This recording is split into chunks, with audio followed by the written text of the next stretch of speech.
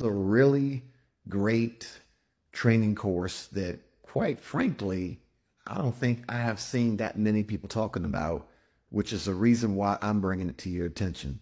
Recently, I've been making a huge effort to expand my knowledge in areas specific to AI.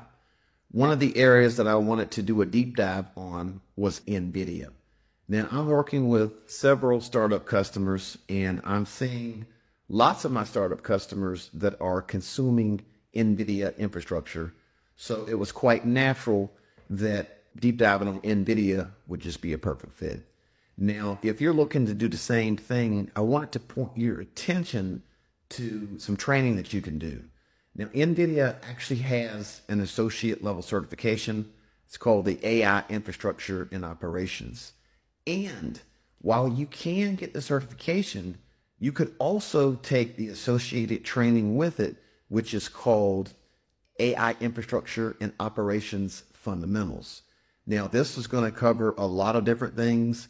And at the end of this, you'll pass or you will take a set of questions. And if you complete that and pass that set of questions, you'll be eligible to download a certificate.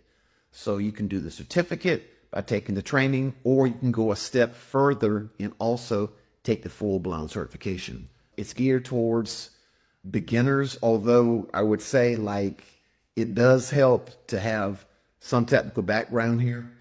Uh, it covers AI use cases, the evolution of AI, talks about the relationship between machine learning, deep learning, generative AI, goes into GPUs and how they revolutionize AI, talks about AI infrastructure and AI operations. And check this out, take this training, and I'm curious what you think.